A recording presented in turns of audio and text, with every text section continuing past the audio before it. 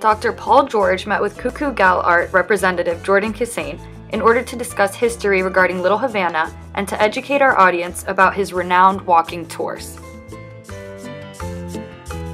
Now I have the pleasure of speaking with Dr. Paul George. He is a historian and he conducts local tours in Miami. So he's going to tell me a little bit about what he does and about his involvement with Viernes Culturales. Okay. I'm an historian by education, a PhD in history from Florida State, and I came back to Miami in the 80s and uh, started teaching uh, Florida history, Miami, South Florida history. It just seemed logical I should conduct tours as part of that. When Cultural Friday came calling at the beginning of 2002, I said I'd be happy to do tours. And then I realized, I said, it's every last Friday of the month. I don't want to give the public the same tour because there'll be people who are repeaters.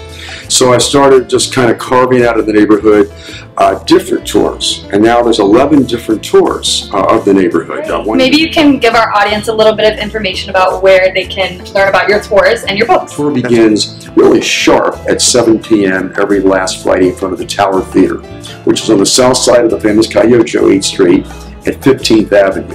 And then we fan out from there.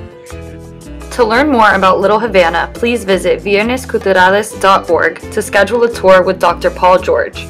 For more information, please visit www.ccucugallart.com.